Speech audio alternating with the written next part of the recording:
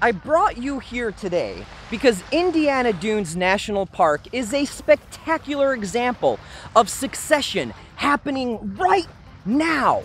So what we're going to do is we're going to take a journey from the beach and deeper inland so we can see succession occurring in front of us and observe the changes. Here at the beach, we began our succession hike. Here we see the first step of succession. Weathering due to wind and water has broken rock down into sand. Though you can't see it now, bacteria and lichens also help to further break down this raw material. But more importantly, as they live and die, they incorporate organic material into the soil. That's the first step of soil formation.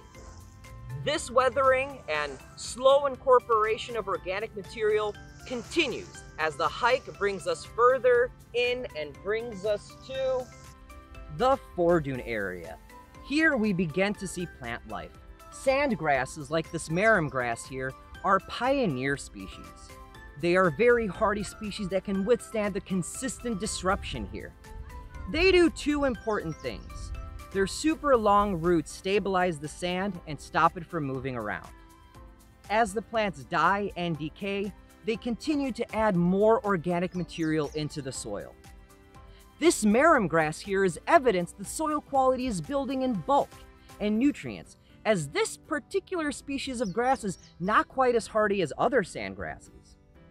Even here, we're further helped along by the lichens and mosses which continue to break down more raw material, contributing to the soil quality. We also begin to see an increase in animal species as many insects begin to colonize here. However, because we're still near the beach, this area sees consistent disturbances and will pretty much remain in this state.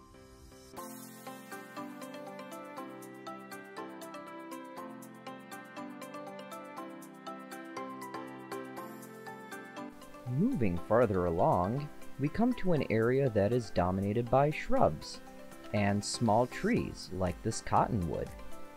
Here, the greater diversity of plant species create complex root systems that hold the soil in place even better than the grasses from the foredunes. Because there are more plants growing, there is even more organic material being incorporated into the soil. Because of all these plants, this community supports a greater amount of animal life.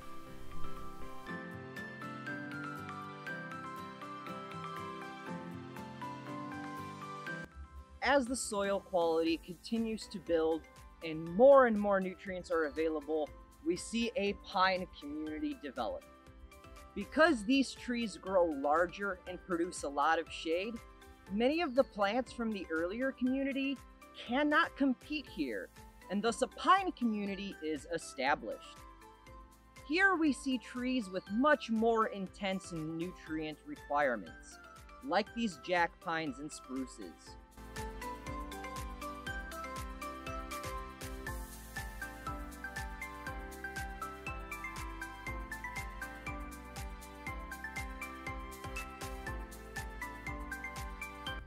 Now we arrive at a much older community.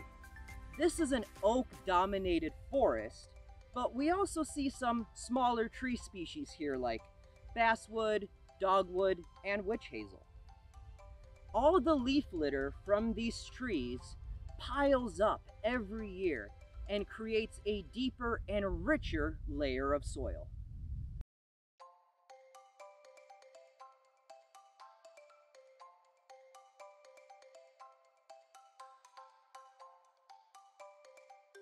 And here we are, the climax community at Indiana Dunes. The dominant species here are going to be maple and beech, but there is also black oak, which is a species of oak that is particularly efficient at using the resources here and appears to be the most common tree that I am surrounded by. This is a relatively stable community and will remain present here until some sort of massive disturbance.